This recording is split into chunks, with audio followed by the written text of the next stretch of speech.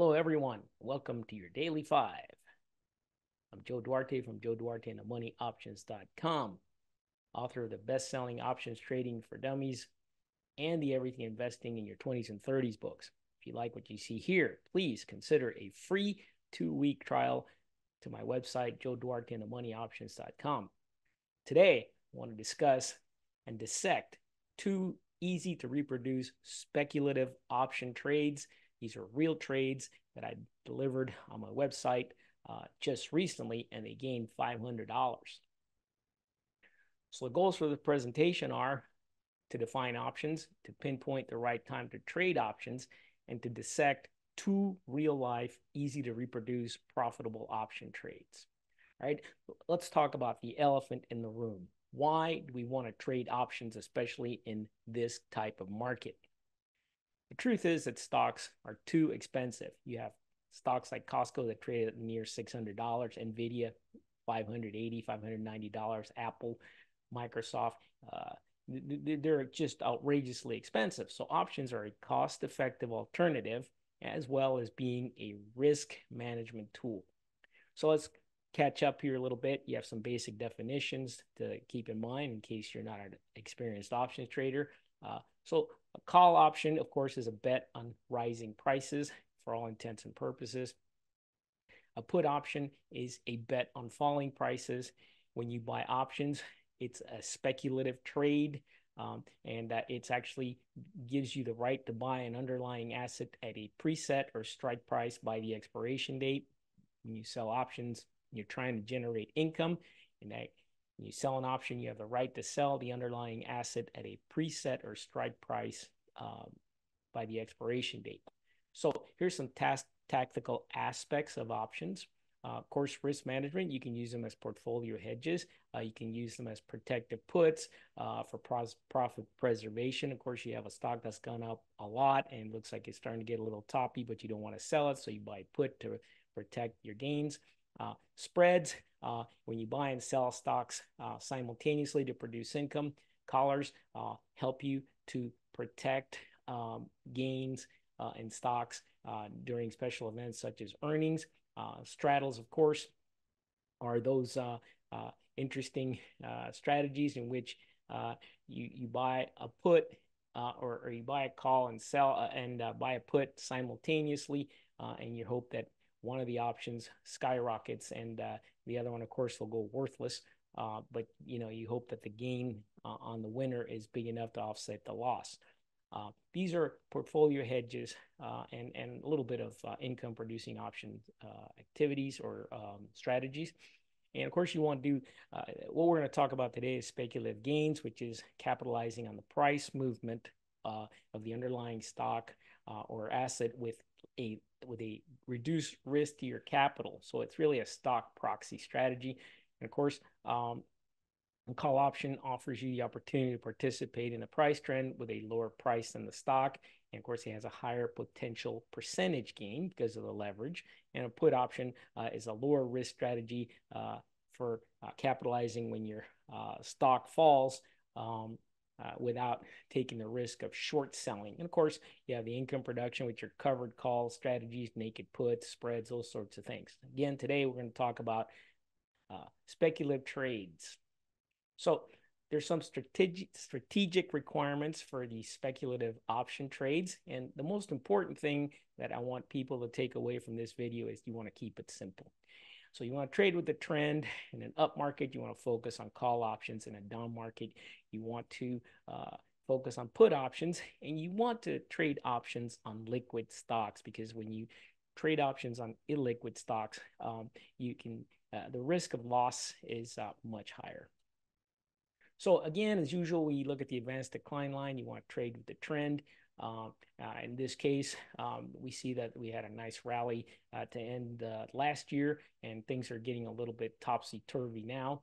Um, and uh, that's a great time to look for options because you see that volatility, as in the CBOE volatility index here, is rising. You can see that rise. And when that volatility rises, uh, it's it should make you think of two things. Number one, stocks are risky, but number two, options uh, are ripe uh, for trading because options love volatility. So again, trade with the trend. And you might want to look at the short term trend so you can uh, participate when the market goes up for a few days uh, or down for a few days uh, with options uh, with a lot less risk than with stocks. So again, confirming what you see in the advance decline line, you see uh, uh, you look here at the S&P 500, and again, you want to focus on, on what's happening here. Of course, we saw the big rally uh, at the end of 2023 uh, uh, and the topsy-turvy action in the market in early 2024. And you want to focus on accumulation distribution, which tells you what the short sellers are doing. And in this case, uh, we see that the short sellers are actually covering their short positions. But at the same time, we see that the on balance volume line is rolled over, and that tells you that uh, buyers are turning into sellers as they take profits up here. Uh, when you see this divergence in accumulation distribution and on balance volume, uh, you, you want to think of the possibility for short squeezes and increased volatilities. Okay. Uh, at any time, these two things could reverse, and then, of course, the trend reverses. So you want to make sure that when these things diverge, uh, it confirms what you saw in the volatility index, which means the volatility is likely to increase. So we're keeping it simple here, uh, concentrating on liquid stocks, and you want to look for that turbulence and volatility in stocks, as we saw in the advance decline line in the S&P 500. Then you want to look at what's happening in the news, events, and how the stock that you're choosing, the underlying stock, is responding. So again, uh, just a quick review. You want to see if you're in a basing or topping formation or a choppy uh, trading pattern. Uh, is the stock gaining or losing traction? In other words, accumulation, distribution, on balance volume. Are we seeing short covering? Are buyers coming in? Are we near a breakout? Are we breaking down? Uh, are we in a momentum run or topping action? These are the things you ask yourself before you commit to trading options. So let's quickly, quickly move into our trades here. Okay. And both trades uh, uh, happened uh, in early 2024, a period of increased volatility. Uh, and uh, the trades involved Apple. Okay. And again, Apple, very liquid stock that was in the news. Uh, they're having problems with some patent uh, patent related issues with their iWatch. Um, there were rumors that they were discounting the iPhone in China and sales were about to go down. Um, and, and, then we, we're focused here at the end of uh, 2023. Uh, we see that uh, the stock uh, broke below that uh, 20 day moving average and started bouncing around. So when it came back over here on the um, 29th, the last trading day of 2023, uh, we bought a put option because this volatility here drew our attention and the failure of the stock to bounce above the 20 day moving average also drew our attention. So that tells you the stock is weak.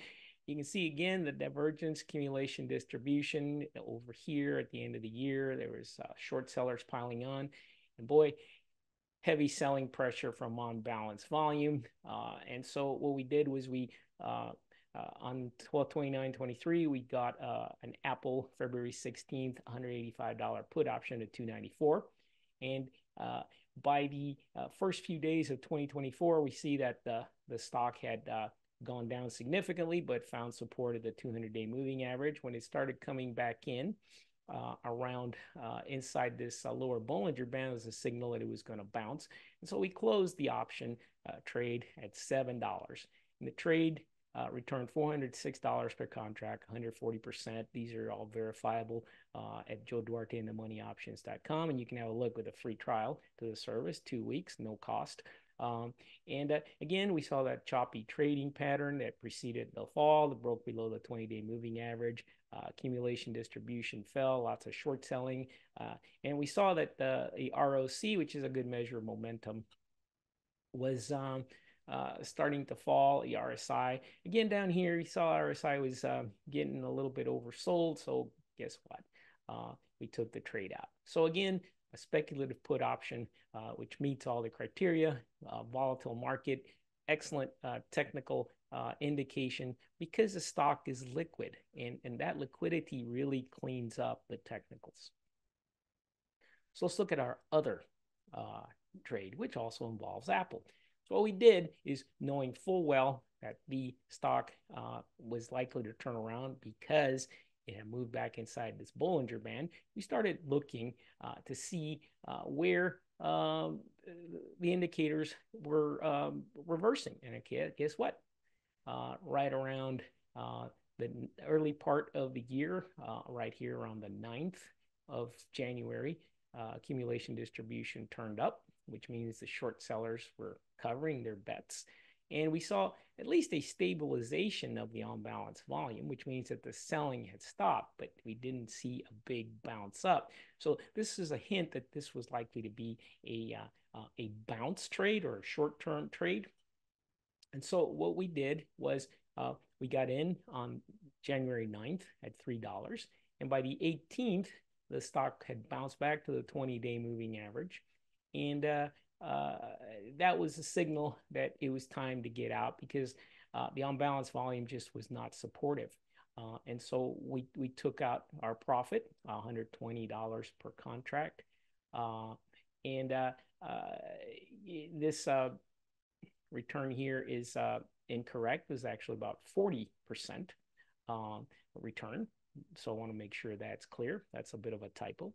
but again, the, the big the big picture here is that by applying your technical indicators uh, and, and your knowledge of, of how these liquid stocks uh, tend to uh, behave, you can make some very profitable short-term speculative uh, option trades. Again, the key here that tells us that this stock is probably not going to be uh, making much more progress here is that this on balance volume uh, was uh, heading lower and that the bounce in the stock was more than anything short covering because accumulation distribution was rising.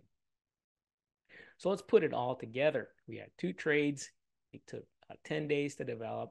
We made $526, which com- combined, which about 180% uh, gain.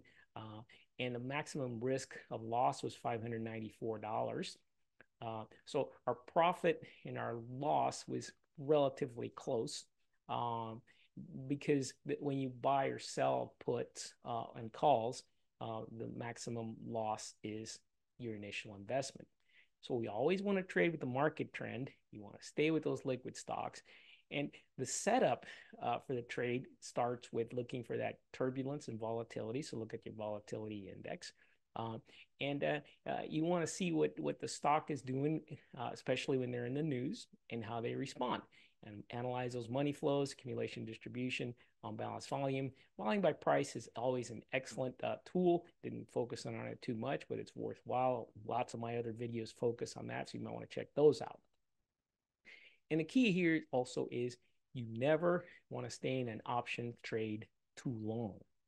Okay, and that that's key. Saw we got out uh, with profits in a few days. Well, that's all I have for today. Uh, I'm Joe Duarte from Joe Duarte in the Money moneyoptions.com. Please uh, consider a free two week trial to my service if you like this. Uh, uh, the option trades um, are, are increasing currently because the market is increasingly volatile. And of course, you always want to consider checking out my Options Trading for Dummies number one best selling book and uh, the Everything Investing in Your 20s and 30s uh, books. Now, also, uh, I really appreciate the support I've been getting about my, at my Buy Me a Coffee page, which is a uh, uh, additional site with lots of information which corresponds to what goes on uh, at Joe Duarte in the moneyoptions.com, uh, especially focuses on uh, real estate, home builders, uh, real estate investment trusts, those uh, types of investments. And we have special reports and in-depth analysis. There's all kinds of new stuff there all the time. And as always, remember, trading is uncertain. Always be prepared.